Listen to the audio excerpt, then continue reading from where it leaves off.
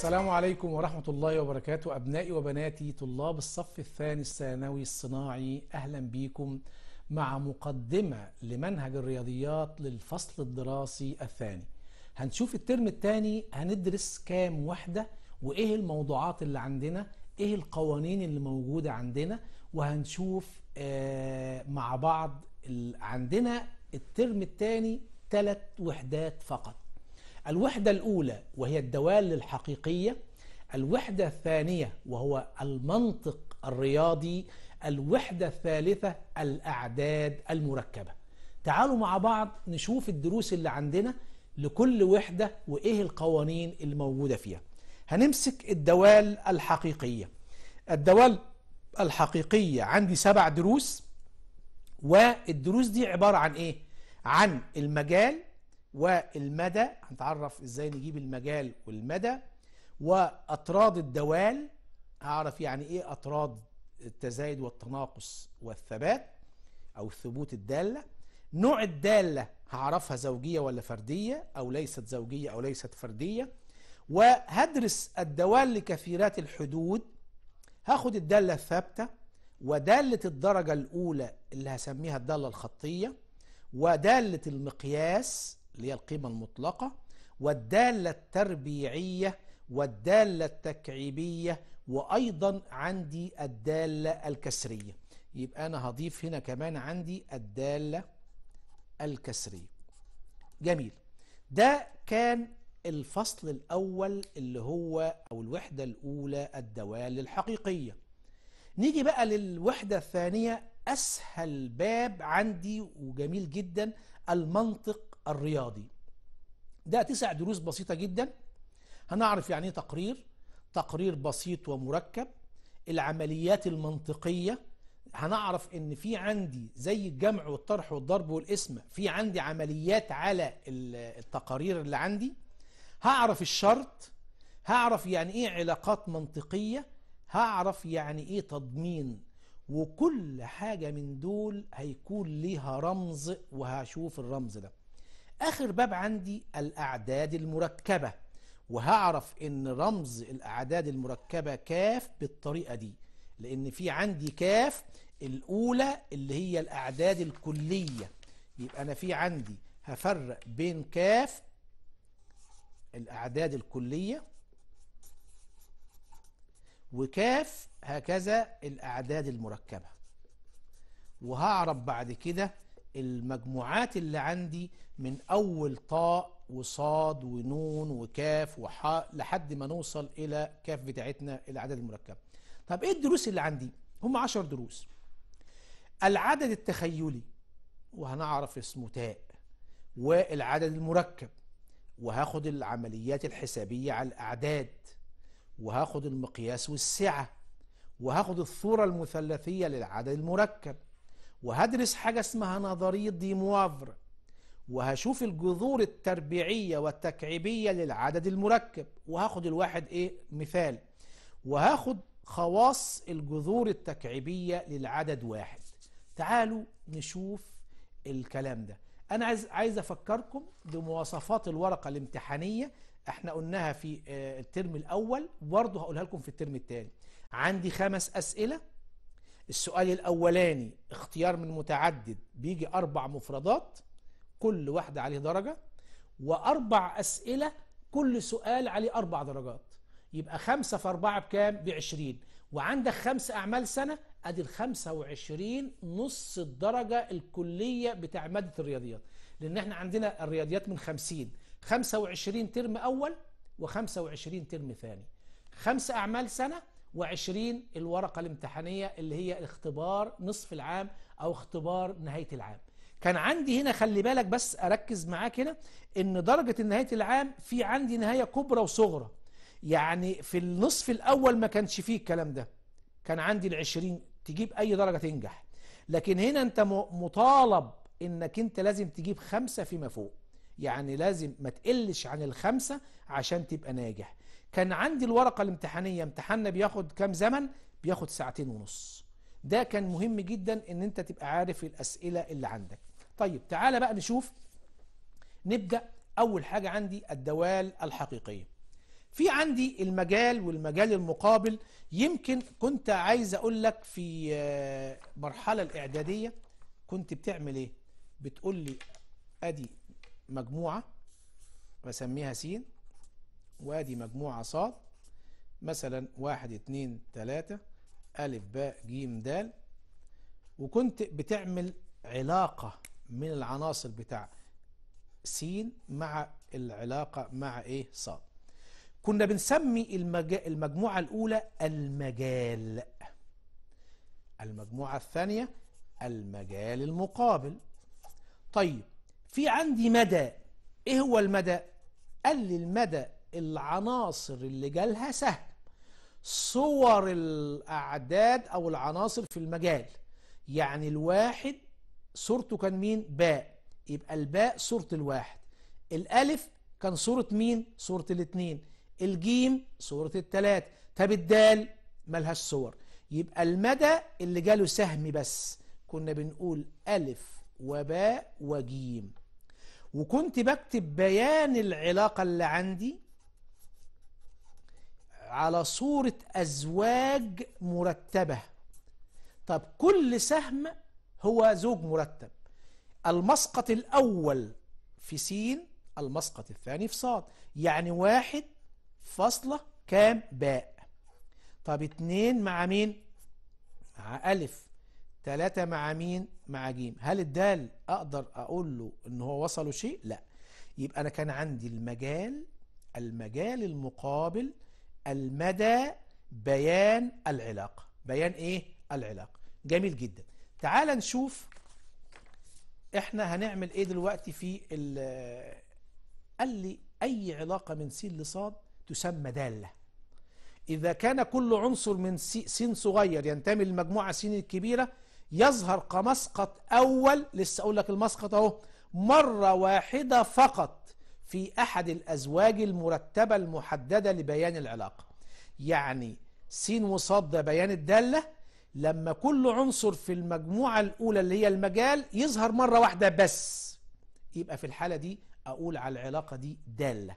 طب إذا ظهر مرتين أقول له ليست دالة. طب لو ما ظهرش خالص ليه صور أقول له ليست دالة. واحد يقول لي يعني إيه الكلام ده؟ أقول له يعني لو أنا عندي هنا واحد اتنين تلاتة ألف باء جيم دال. الواحد بقت كده. التلاتة دي لم يظهر لها صور يبقى ليست دالة. طيب يبقى دي ليست دالة. نفس الكلام واحد اتنين تلاتة ألف باء جيم دال. الواحد للألف والواحد للباء اتنين للتلاتة واتنين للجيم والتلاتة للدال. هذه أيضا ليست دالة. ليه؟ لأن الواحد طلع منه سهمين بقى له صورتين. وأنت شرط الدالة إن هنا أي عنصر في س له صورة واحدة فقط.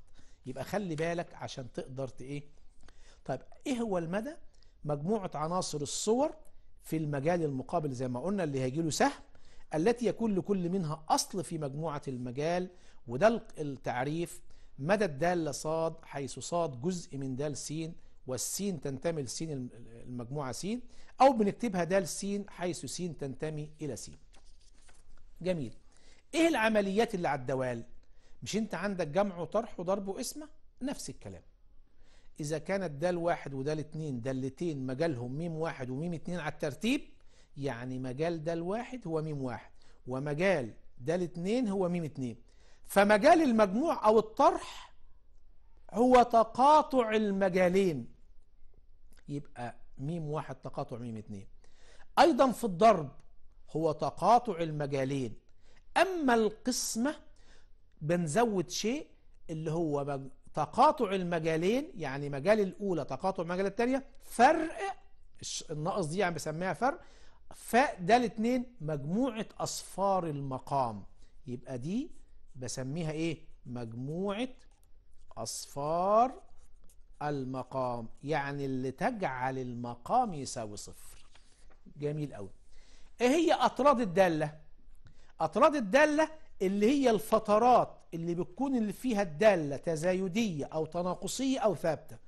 ليها تعريف؟ أيوه. تزايد الدالة. بص للرسمة اللي عندك. بدأت من ألف إلى باء بنلاقي الدالة تزداد إلى الفوق ترتفع أهو. يقال للدالة دال أنها متزايدة في الفترة من ألف لباء. لو خدت عنصرين س واحد وس اتنين على المحور هنا عندي س واحد وس اتنين هيبقى على السينات هنا دال س واحد وهنا دال س اتنين. هنلاقي إن دال س واحد أكبر برضو من دال س اتنين. لكل س واحد وس اتنين تنتمي للفترة ألف وباء. يبقى لما بتاخد عددين هنا س واحد وس اتنين هنلاقي إيه؟ لو أنت وصلت هنلاقي الايه الصورة بتاعتهم على محور الصدى. يبقى لو بدأت بسين واحد أكبر من سين اتنين يبقى دال سين واحد أكبر من تظل علامة أكبر كما هي؟ أقول له الدالة متزايدة. طب إمتى تبقى متناقصة؟ لو خدت جيم ودال خدت هنا عددين أهو. سين واحد وسين اتنين. صورتهم هنا دال سين واحد وهنا دال سين اتنين. خلي بالك بتلاحظ إن الدالة مالها بتنزل لتحت. يبقى أقول له الدالة تناقصية. يبقى س اتنين أكبر من س واحد هيلاحظ إيه؟ إن دال س واحد أصغر من دال س إيه؟ اتنين. طب أنا عايز أوضح. هنا برضو هاخد إن دال س واحد أكبر من اتنين عشان تبقى ماشية مع المسألة. يبقى دال س واحد أصغر من دال س اتنين. بدأت بأكبر وصلت الأصغر. يبقى أقول له الدالة متناقصة. إمتى تكون الدالة ثابتة؟ إذا لقيت إن الدالة دي تفضل تساوي نفس العدد. دال س تساوي ألف. هنا ألف هنا ألف هنا ألف هنا ألف. لو أنت خدت أي أعداد هنا الدالة هنا ثابتة. فهنا عندي أصبح ثلاث إيه آه فترات اللي هي إيه التزايد التناقص عندي إيه؟ الثبوت الدالة. يبقى أنا في عندي لو رسمت لك رسمة دلوقتي وقلت لك أهو أدي المحورين أهو والدالة دي كانت ماشية كده. تقدر تقول لي بقى التزايد فين والتناقص فين وال... بسيطة جدا وكل وده ممكن أجيبها نجيبها في الاختبارات. أكمل. قال لك الدالة ثابتة من ألف لباء. تناقصية تنزل من باء لجيم. تزايدية من باء من جيم لإيه؟ لدال. عملية سهلة. طب بكتب الفترات إزاي؟ فترات مغلقة. يعني ألف وباء. جيم. نمسك الأول باء وجيم. الفترة الثانية جيم وإيه؟ ودال. فترات مغلقة. جميل قوي طب إمتى تكون الدالة بقى زوجية وفردية؟ نوع الدالة دي إيه؟ قال لك الدالة دي نقول عليها زوجية إذا كان دال سالب س يساوي دال س لأي عددين س وسالب س ينتموا لس طيب وإمتى نقولها فردية؟ إذا كانت دال سالب س تساوي سالب دال س خلي بالك بقى. في الدالة الزوجية دي شكل الدالة عامل إزاي؟ أقول له الدالة هنا الدالة الزوجية. الدالة الفردية. في الدالة الزوجية المنحنى متماثل حول إيه؟ محور الصادات يعني زي كده. المنحنى متماثل حول محور الصادات إيه كمان؟ إيه من أشهر الدوال الزوجية؟ الجتا والجذر التربيع طب الدالة الفردية؟ كده. أدي المنحنى أهو. هتلاقيها ماشية كده. المنحنى ماله متماثل حول مين؟ ها؟ حول النقطة دي اسمها إيه؟ نقطة الأصل. نقطة إيه؟ الأصل. طب من الدوال الفردية إيه؟ الجاء والظاء من أشهر الدوال الفردية. جميل جدا. كده أنا عرفت نوع الدالة وعرفت الاطراد تعال نشوف الدوال لكثيرات الحدود بقى. عندي مين؟ الدالة الثابتة. دال س بيساوي ج عدد. طيب تمثيلها بيانيا بخط مستقيم أفقي على بعد ج من محور السناد لو كان موجب أو سالب. هنا كان عند أربعة بقى فوق هنا عند سالب ثلاثة تحت. مجال الدالة دي إيه؟ ح أما المدى هو العدد نفسه. العدد لو كان أربعة أو سالب إيه؟ ثلاثة دي الدالة الثابتة.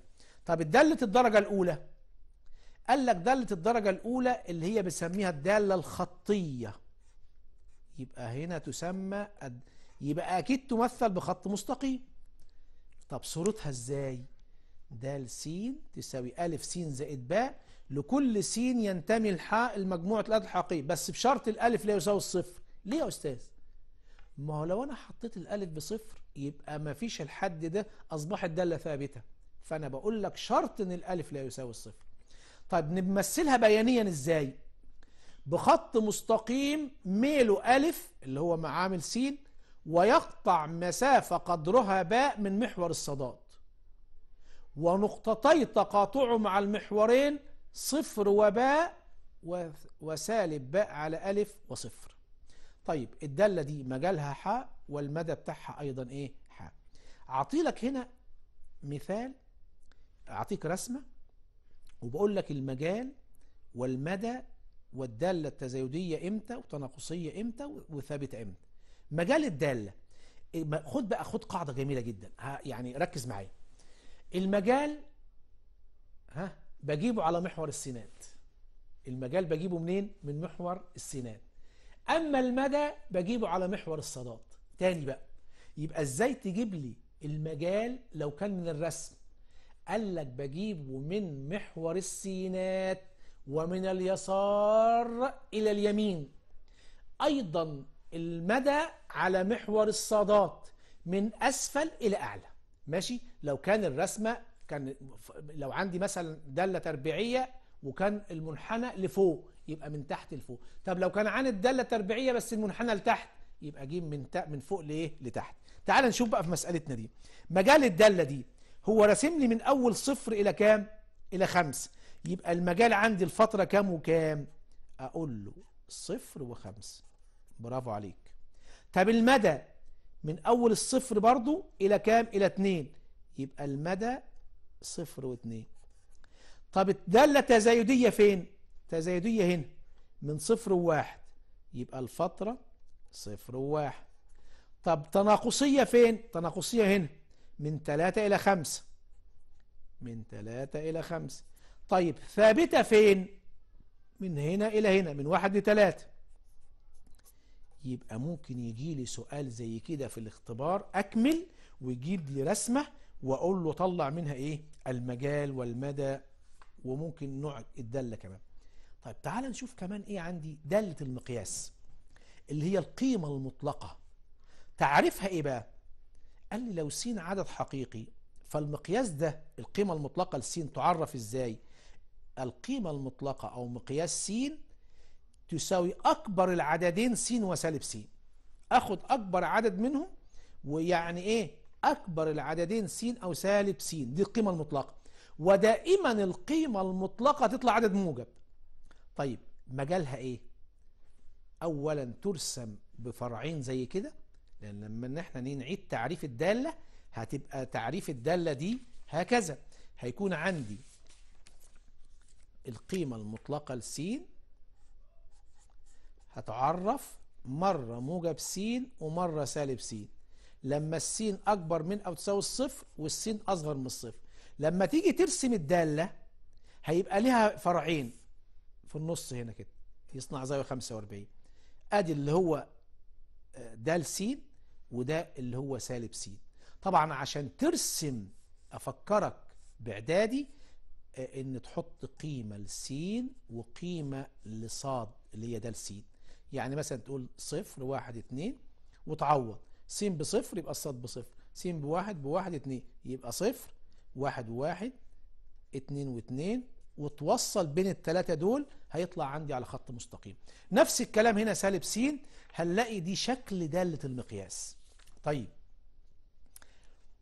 آه المجال قال لك مجموعة الأعداد الحقيقية. أما المدى في رسمتنا دي من أول الصفر إلى ما لا نهاية. من أول الصفر إلى إيه؟ إلى ما لا نهاية. هل دالة المقياس لها خواص؟ أيوة. القيمة المطلقة للسين دائما أكبر من أو يساوي الصفر. يعني ما تطلعش سالب أبدا. طيب. لو القيمة المطلقة لسين بتساوي صفر في الحالة دي قال لك س بيساوي صفر.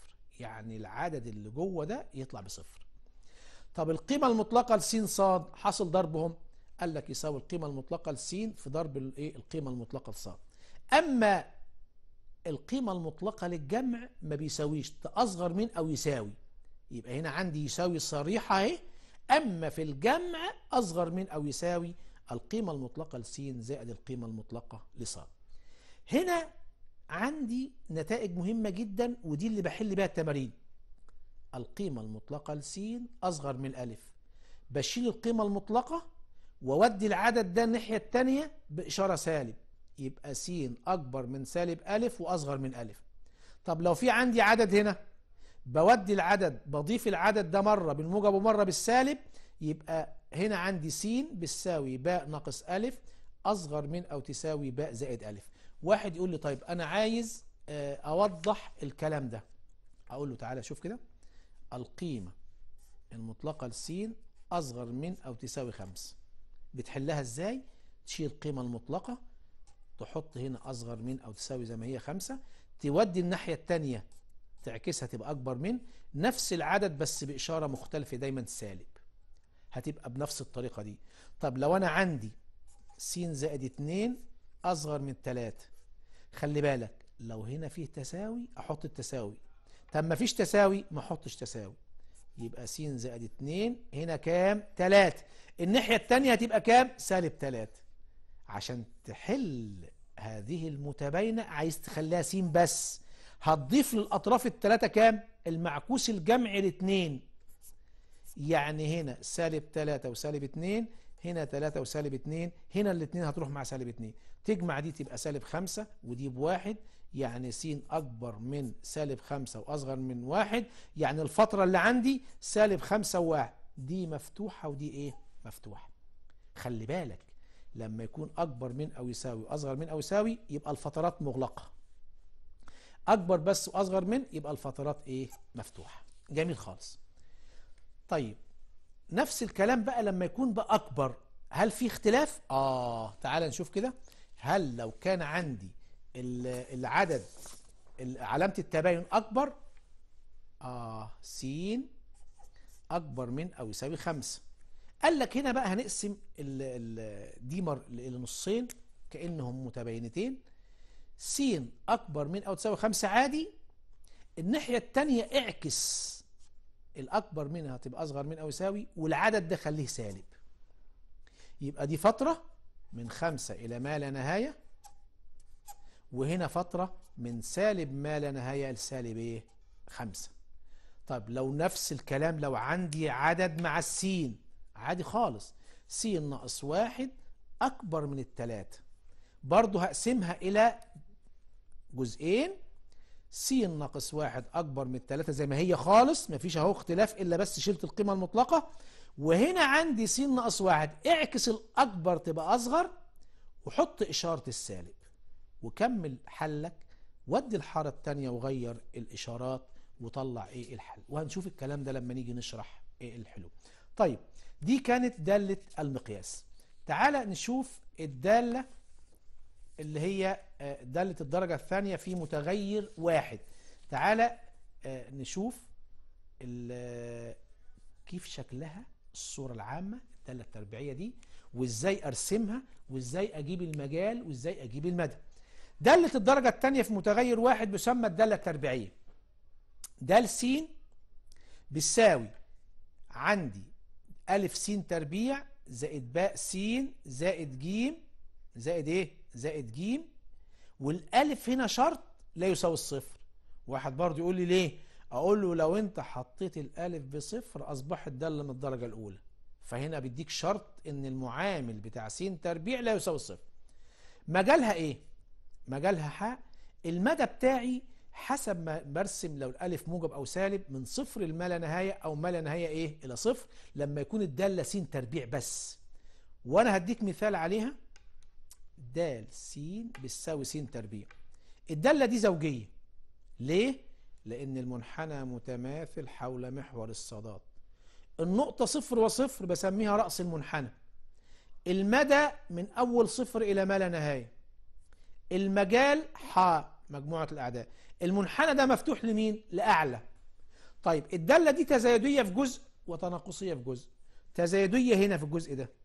يبقى من صفر إلى ما لا نهاية. طب تناقصية في الجزء ده يبقى من سالب ما لا نهاية إلى إيه؟ إلى صفر ده كان الدالة بتاع الدرجة الثانية طب دالة الدرجة الثالثة اللي هي التكعيبية شكلها إزاي؟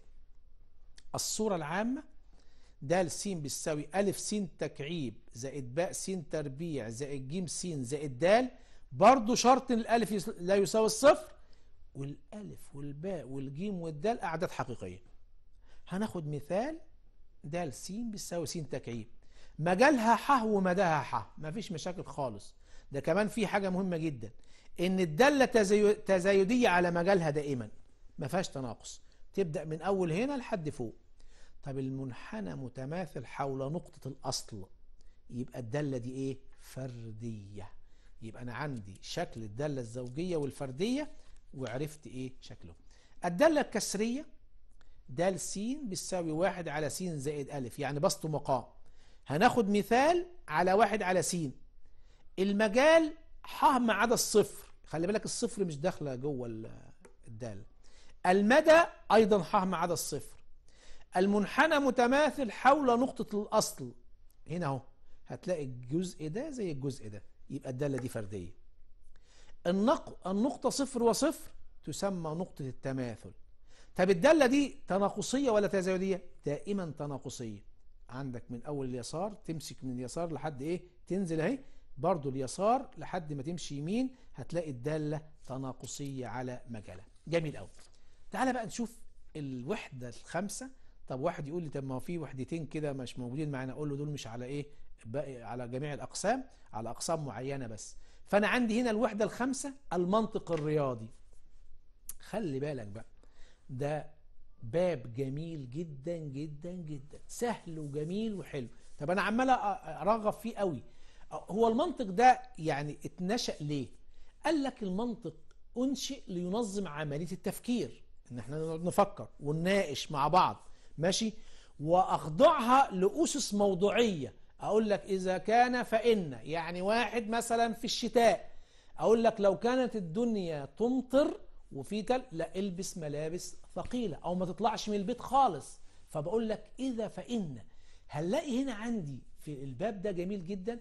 هنلاقي فيه الأدوات اللي أنا هستخدمها آه، النفي والعطف والوصل وهلاقي فيه أشياء كتيرة جدا. وإذا فإن اللي هو الشرط.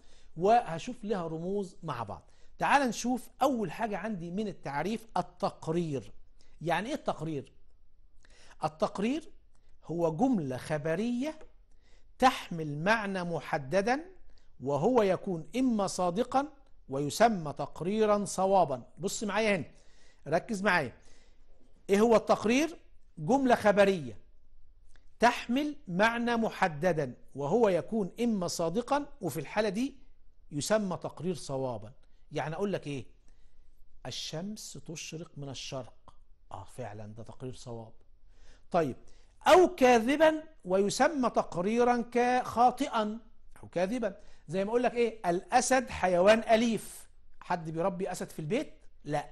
يبقى في الحالة دي هذا يسمى تقريرا خاطئا. طيب إيه التقرير البسيط والمركب؟ قال لي البسيط العبارة التي تحمل خبرا واحدا. هو خبر واحد بس. تشرق الشمس من الشرق. طب المركب؟ العبارة التي تحمل أكثر من خبرا واحدا فيها خبرين. يعني تشرق الشمس والسماء ممطرة حاليا أو السماء إيه صافية. يبقى أنا في عندي حاجتين مع بعض. طب إيه العمليات المنطقية؟ مش أنت عندك عمليات جبرية جمع وطرح وضرب وقسمة على الأعداد؟ هنا بقى عندي في عمليات منطقية. هي أدوات ربط. آه هتربط. شبيهة بأدوات الربط في اللغة زي اللغة اللي عندي ولكن لها معنى محدد كعملية منطقية. مش انت عندك بتقول و أو أو برضو عندي هنا في و وأو طيب تعال نشوف أول حاجة عندي. النفي. رمزه شايف المد ده؟ ده رمز النفي. طب لو كان التقرير أو نفي التقرير لو التقرير صواب يبقى نفيه خطأ طب لو كان خطأ يبقى نفيه صواب. طب إحنا عايزين نتعامل بالرموز بقى. قال لك هنرمز للتقرير بألف. يبقى نفيه نفي ألف. وهنختار العددين واحد وصفر بالإنجليزي. الصواب واحد والخطأ صفر. ركز بقى. يبقى أنا عندي هنا الواحد ده إيه؟ صواب. والصفر اللي هو زيرو ده يعني خطأ. أحيانا في بلاد أخرى كنا بنقول الصواب صاد والخطأ خاء. أيضا. ماشي؟ طيب يبقى أنا عندي هنا واحد وصفر. ركز عشان ده اللي إحنا هنستخدمه كتير. أول أداة من الأدوات اسمها العطف. دي رمزها عامل زي التمانية. خلي بالك كلهم عمليات منطقية ثنائية. يعني تربط بين تقريرين. عملية منطقية ثنائية يعني بين اتنين ما ينفعش مع واحدة. طب رمزه و طيب ورمزه رياضيا إيه؟ اللي هو التمانية. يبقى العطف و ورمزه رياضيا تمانية. طب لما يجي لي ألف وباء خلي بالك هنا بقى مركز معايا. أنا عايز أشوف احتمالين للإيه؟ لتقريرين مع بعض. ركز معايا كده وشوف بص عندي تقريرين اهو انت عارف التقرير الواحد يا إما صواب يا إما خطأ. طب لما اخدهم الاثنين مع بعض تعال نشوف الحالات كده. يا إما الأول صواب والتاني صواب. صح. يبقى دي أول حالة. يا إما الأول صواب والتاني خطأ. يبقى الحالة الثانية طب ممكن نعكس. الحالة الثالثه أقول له الأولاني خطأ والتاني صواب. الحالة الرابعة الأول صواب خطأ والتاني خطأ. يبقى أنا عندي كام حالة لما يكون في تقريرين؟ أربعة. يا إما الاثنين صواب أو الاثنين خطأ. الاثنين اللي في النص الأول صواب والتاني خطأ أو الأول خطأ والتاني صواب. يبقى أنا عندي هنا إيه؟ أربع حالات. ماشي؟ ودي مهمة جدا لما نحل إيه؟ بيها التمارين. تعال نشوف هنا عندي هنا الألف والباء. طب الألف دي هنديها إيه؟ مرة صواب مرة خطأ. مرة صواب مرة خطأ. أما الباء اتنين صواب واتنين خطأ. تعال نشوف. يبقى الحالة الأولى صواب صواب خطأ صواب صواب خطأ خطأ خطأ. يبقى مرتين فيهم صواب وخطأ ومرتين يا إما كلهم صواب يا إما كلهم إيه؟ خطأ. طيب حالة العطف الأداة بتاع العطف دي و. إمتى يكونوا صواب؟ قال لك ده بيكون صواب لما يكونوا هما اتنينهم صواب بس. يعني الأولى صواب والتانية صواب تطلع صواب واحد اللي هي رمزها واحد. أما أي حاجة تشم فيها الخطأ كلها خطأ. يبقى صواب وخطأ خطأ خطأ وصواب خطأ خطأ وخطأ خطأ. يبقى أقول له حالة واحدة صواب. كلا من الألف والباء إيه؟ صواب. وفيما عدا ذلك الألف وباء خطأ. دي أول حاجة عندي. طيب تعال نشوف الثانية اسمها الفصل. رمزها أو ورمزها رياضيا عامل زي السبعة أو الفي. قال لك برضو عملية منطقية ثنائية يعني بين اتنين. تربط بين تقريرين. تربط بين تقريرين. جميل كده؟ حلو. قال لك برضو بين الألف والباء. طب ده بيقول لك بقى عكس ديكت. حالة واحدة خطأ. حالة واحدة إيه؟ خطأ. لما يكون الاثنين خطأ. هناك حالة واحدة صواب لما يكون الاثنين صواب عشان تبقى تفرق بينهم. هنا حالة واحدة خطأ. طيب نفس الكلام يبقى كله صواب ما عدا الحالة الأخيرة إيه؟ خطأ. الشرط اللي هو سهم من جهة واحدة إذا كان فإن. إذا كان في إيه؟ فإن. قال لك حالة واحدة خطأ. لما الأولى صواب والتانية خطأ. حتى كنا بنقول للطلاب صخ. اللي هي صخ هي اللي خطأ أما الباقي كله إيه؟ صواب. عندي الشرط الثنائي إذا وفقط إذا برضو عملية منطقية ثنائية. مالها؟ بيكون فيهم حالتين حالتين إيه؟ صواب وحالتين خطأ. حالتين صواب وحالتين إيه؟ خطأ. طب إمتى يكون صواب؟ لما يكونوا متشابهين. يبقى صواب صواب وخطأ خطأ بيكون صواب. أما في اختلاف بيطلع عندي هنا إيه؟ مختلفين. تعالوا نشوف مع بعض. يبقى ده عندي الحالة الأولى والحالة الأخيرة اتنينهم إيه؟ صواب. حالتين صواب. بص معايا هنا في حالة قيمة الألف تساوي قيمة الباء وعندي هنا يكون خطأ إذا اختلفت قيمة الألف عن قيمة إيه؟ الباء. جمعتهم لك في جدول وخلي بالك من الجدول ده. الألف والباء أهو. يبقى لما تيجي ترسم بعد كده وتحل تمرين تقول لي بعمل عمود لألف وباء ثم أربعة صفوف وحط فيهم الألف مرة مو صواب وخطأ الباء اتنين صواب واتنين إيه؟ خطأ. تعال نشوف العلاقات المنطقية. قال لي التكافؤ اللي هو رمزه زي يساوي بس بزود عليه شرط يعني ثلاث شرط يقال أن تقريرين ألف وباء متكافئان إذا كانت قيم صدق ألف هي نفسها قيم صدق إيه؟ باء في جميع الأحوال يعني كله يطلع زي بعضه. وبقول له ألف يكافئ باء. أما التضمين إذا كان التقرير الشرطي ألف فإن باء صواب دائما فبقول دي تضمين ورمزه هيبقى السهم مغلظ. يبقى السهم من جهة واحدة يبقى مش زي الشرط هنا شرطة واحدة لا هنا اتنين ونقرأها إيه؟ ألف يؤدي باء. آخر حاجة عندي في الباب ده طريقة تكوين الجدول. هديك مثال. وكيف يقرأ؟ نفي ألف وباء يكافئ نفي ألف أو نفي باء. هنا هيطلع عندي سبع أعمدة. بتعمل إزاي؟ عمودان لألف وباء ثم أربعة صفوف. دي أول حاجة تبدأ بيها. عمود للنفي. لقيت نفي ألف أو نفي باء أعمل له عمود. أما النفي قبل القوس ملهش يبقى عمود للنفي ألف ونفي باء. عمود لما بداخل الأقواس لو في عندي أقواس اللي جوه ده أعمل له عمود. يبقى كده عندي عمودين وعمودين أربعة عمود خمسة. عمود لكل طرف على حدة. الطرف الأيمن عمود والطرف الأيسر عمود. يبقى أنا عندي أصبح في عندي هنا إيه؟ سبع أعمدة. عندي كام عمود؟ عندي سبع أعمدة. يبقى خلي بالك لما تجي لي مسألة زي كده تقول له إيه؟ عمودان لألف وباء ثم أربعة صفوف. تعمل كده مبدئيا. يبقى دي أي مسألة تجيلك طيب عملت عمود ألف وباء. عمودين للنفي. يبقى نفي ألف ونفي باء. طب ما بداخل الأقواس ألف وباء. عمود على حدة.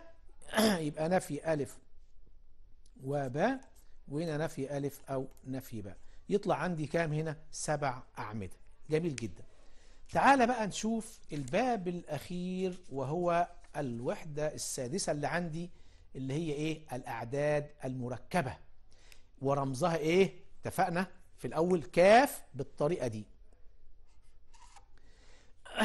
أعرفك بس الأول مجموعة الأعداد السابقة اللي أنت درستها.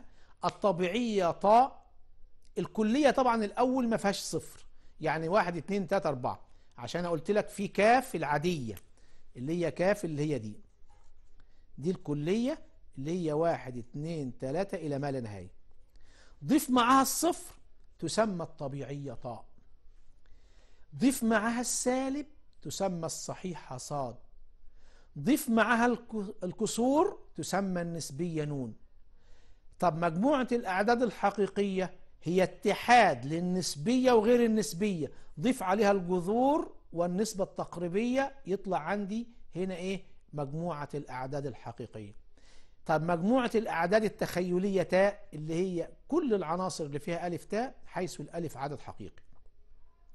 القوى الصحيحة للعدد تاء تاء تربيع دايما بسالب واحد. يعني هنا تاء بيساوي جذر سالب واحد. وهنا اللي هن... لما نيجي تربع الجذر يروح يتفضل عندي سالب واحد. طب تاء تكعيب كأنها تاء تربيع في تاء يعني سالب تاء. طب تاء أس أربعة كأنها تاء تربيع في تاء تربيع يعني يطلع موجب واحد. كل الحاجات دي هنشوفها في التمارين لما نيجي نشرح المنهج. تاء خمسة يعني يطلع بتاء. مجموعة بقى الأعداد المركبة كاف تعريفها إزاي؟ س زائد تاء صاد. س زائد إيه؟ يعني عدد حقيقي وعدد تخيلي. السين تنتمي الحاء والصاد برضه حاء أعداد حقيقية. بشرط هنا عندي التاء تربيع بتساوي سالب واحد. يبقى ده تعريف مجموعة الأعداد المركبة. هنلاحظ بقى إن إيه؟ كاف العادية بتاعتنا دي جزء من طاء جزء من صاد جزء من نون جزء من حاء جزء من كاف. يعني أكبر مجموعة وصلنا لها حتى الآن هي مجموعة الأعداد المركبة. تمام. طب أنا عايز بقى أحل تمارين. أقول له تعالى ادي لك بقى شوية حاجات مهمين جدا. تساوي عددين مركبين. العدد الأولاني س واحد زائد تاء صاد واحد. ده الحقيقي وده التخيلي.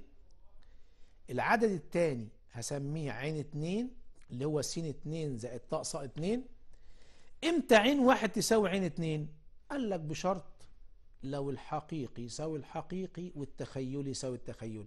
يعني س واحد تساوي س اتنين وصاد واحد تساوي صاد اتنين.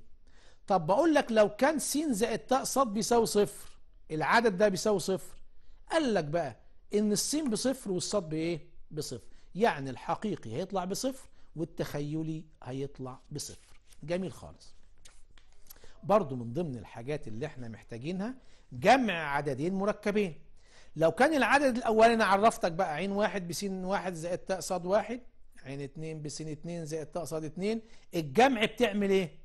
قال لك يا سيدي بتجمع الحقيقي مع الحقيقي والتخيلي مع التخيلي. طب واحد يقول لي اديني مثال على السريع كده أقول لك العدد الأولاني اتنين زائد تلاتة تاء والعدد الثاني خمسة ناقص سبعة تاء. انت عايز تجمع الاتنين دول مع بعض. هتقول له عين واحد زائد عين اتنين. اجمع يا عم اتنين زائد خمسة واجمع تلاتة زائد سالب سبعة. يبقى هنا بسبعة. تلاتة ناقص سبعة بكام يا أستاذ؟ أربعة تاء. يبقى ده ناتج الجمع. الحقيقي طلع سبعة والتخيلي كام؟ سالب أربعة. التخيلي طلع كام؟ بسالب أربعة. جميل خالص. طيب يبقى إحنا كده عندنا بنشوف الأعداد اللي لما قلنا في الجمع بنعمل إيه؟ بنجمع الحقيقي مع الحقيقي والتخيلي مع التخيلي. تعال نشوف الضرب كده هنعمل إيه؟ ضرب عددين مركبين. ضرب عددين مركبين. عين واحد في عين اتنين. اللي هو إيه؟ عندي هنا س واحد في س اتنين ناقص صاد واحد. صاد اتنين ده الجزء الحقيقي. خلي بالك الإشارة سالب هنا. زائد تاء في س واحد صاد اتنين زائد س اتنين صاد واحد. خلي بالك بدلنا هنا. س مع صاد وصاد مع س تعال بقى نشوف تاني كده. عشان نكتب القانون هقول له عين واحد في عين اتنين يساوي إيه؟ س واحد س اتنين ناقص صاد واحد صاد اتنين زائد تاء في س واحد صاد اتنين زائد س اتنين صاد واحد.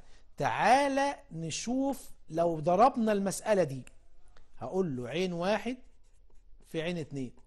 انت قلت لنا يا أستاذ في جزئين. أهو هنا ناقص وهنا زائد وهنا تاء.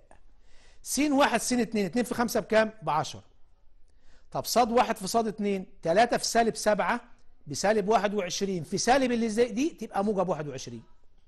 طيب انت قلت لنا نعمل إيه؟ هنضرب س واحد في صاد اتنين.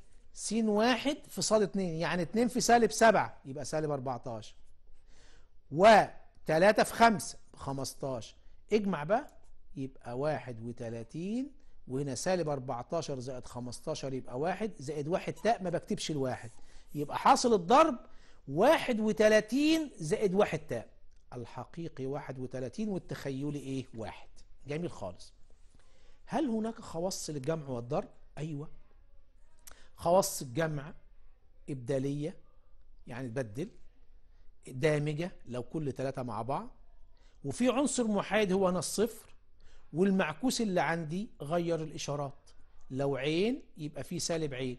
طب سالب عين ده اللي هو عبارة عن إيه؟ سالب س ناقص تاء صاد طب خواص الضرب أيضا إبدالية دامجة يوجد عنصر محايد محايد اللي هو مين؟ الواحد. طب في معكوس ضربي؟ أيوه. لكل عين ينتمي الكاف. يوجد عين أس سالب واحد هو المعكوس الضربي. وده هيجي إزاي؟ الحقيقي على مربع الحقيقي والتخيلي. يبقى س على س تربيع زائد ص تربيع زائد سالب صاد على س تربيع زائد ص تربيع إيه؟ تاء عشان ده الجزء إيه؟ التخيلي. جميل خالص.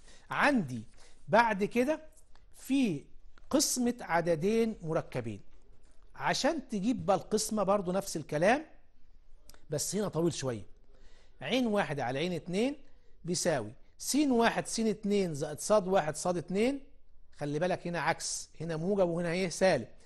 زائد تاء في س 2 صاد 1 ناقص س 1 صاد 2 على س 2 تربيع زائد صاد 2 إيه؟ تربيع.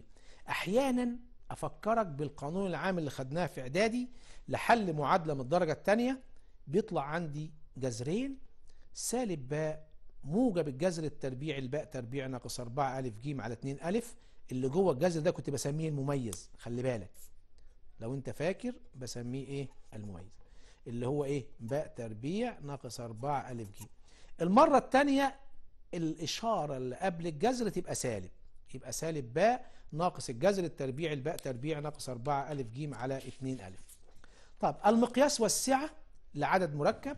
العالم ارجند قال لك إيه؟ قال لك إن أنا هجيب المقياس بتاع العدد ده وأسميه لام وده بيساوي الجذر التربيعي للحقيقي زائد مربع الحقيقي زائد مربع التخيلي يبقى لام يساوي القيمة المطلقة العين يعني يساوي الجذر التربيعي لألف تربيع زائد باء تربيع لو الألف وإيه والباء. طب سعة العدد بسميها رمزها سع عين ودي الزاوية بتاعتنا اللي هي تبقى إيه؟ هاء. دي المقياس والسعة. طب الصورة المثلثية للعدد المركب لو رجعت تاني قلت لك عين بيساوي س زائد تاء صاد الصورة بتساوي إيه؟ عين يساوي لام لام أنت عارف تجيبها إزاي؟ في جتها زائد تاء جاء هاء طب لام اللي هو القيمة المطلقة العين وهاء اللي هي سعته بيديها لك الزاوية في المسألة. طب المقياس والسعة لحاصل ضرب عددين مركبين وخارج القسمة. لو أنا كتبت لك الصورة المثلثية للعدد عين واحد لام واحد جت هاء واحد زائد تاء جاء هاء واحد. على عين اتنين لام اتنين جت هاء اتنين زائد تاء جاء هاء واحد. الضرب بيساوي إيه والقسمة؟ قال لك الضرب اضرب لام واحد في لام اتنين في جت هاء اجمع الزاويتين هاء واحد زائد هاء اتنين في تاء جاء اجمع الزاويتين هاء واحد زائد هاء اتنين. طب لو رفعت الأس ارفع برضو الأس عين أس نون يبقى لام أس نون واضرب هنا في الزاوية. جت نون هاء زائد تاء جاء إيه نون هاء عندي هنا مقياس وسعة بقى خارج القسمة. لو قسمت عين واحد على عين اتنين يبقى لام واحد على لام اتنين. في هنا كنا بنجمع هنا نطرح. هناك كنا بنضرب هنا بنقسم. يبقى جتا هاء واحد ناقص هاء اتنين زائد تاء جاء هاء واحد ناقص إيه هاء اتنين. أعطيك نتيجة. بقول لك لو العدد المركب عين مقياسه لام وسعته هاء فالمعكوس عين سالب واحد مقياسه واحد على لام وسعته سالب هاء يعني المعكوس الضربي يبقى واحد على لام والزاوية هتبقى بإيه؟ بالسالب. جميل جدا. نظرية دي موافر لو كان النون عدد نسبي فلما أحط هنا الأس نون بنزل الأس هضربها في الزاوية يبقى جتا هاء زائد تاء جا هاء أس نون يساوي جتا نون هاء زائد تاء جا نون هاء إزاي نجيب الجذور التربيعية؟ هنجيبها بره بالطريقة الجبرية ومرة باستخدام نظرية دي موافرة. آخر حاجة عندي الجذور التكعيبية للواحد الصحيح هي واحد وسالب نص زائد جذر 3 على 2 المرة الثانية سالب نص ناقص جذر 3 على 2 دي الجذور التكعيبية للعدد واحد. خواص الجذور التكعيبية دي قال لك الثلاث جذور دول واحد منهم حقيقي اهو والاثنين دول مركبان ومترافقان. يعني حاصل ضربهم هيساوي إيه؟ خلي بالك لما تيجي تضرب دول مع بعض هيطلع إيه؟ حاصل ضربهم بيطلع نفس الثاني أو لما تيجي تربعه قال لك لهما نفس المقياس وهو الواحد وسعتهما الأولاني صفر وبعدين زاوية 120 زاوية 240 خاصية مربع أي جذر من الجذرين التكعيبين يساوي الجذر الآخر. يعني لما تربع الجذر ده يطلع الجذر الثاني طب أحيانا بقى نشيل الجذر ده ونسميه بأوميجا والجذر ده أوميجا تربيع يبقى الجذور واحد وأوميجا وأوميجا تربيع مجموعهم هيساوي إيه؟ صفر. حاصل ضربهم س في س أوميجا في أوميجا تربيع بيساوي واحد. لو أوميجا أس 3 نون بيساوي واحد. لو أوميجا أس 3 نون زائد واحد بيساوي أوميجا. آخر حاجة عندي نتيجة بتساوي إيه بقى؟ أوميجا تربيع ناقص أوميجا بيساوي موجب وسالب جذر 3 إيه؟ إلى آه تاء. تعالوا بقى نشوف إحنا عملنا إيه؟ إحنا عندنا ثلاث أبواب الدوال الحقيقية والمنطق الرياضي والأعداد المركبة كده إحنا مشينا ولفينا في الدروس بتاعتنا كلها على أساس لما نيجي نبدأ إن شاء الله شرح المنهج يكون سهل عندنا وبسيط وهنحاول إن شاء الله نضع هذه الأوراق في ملف PDF وننزله ليكم على صفحة القناة على اليوتيوب أو الفيس. إلى هنا تنتهي حلقة اليوم مع وعد بلقاء آخر. والسلام عليكم ورحمة الله وبركاته.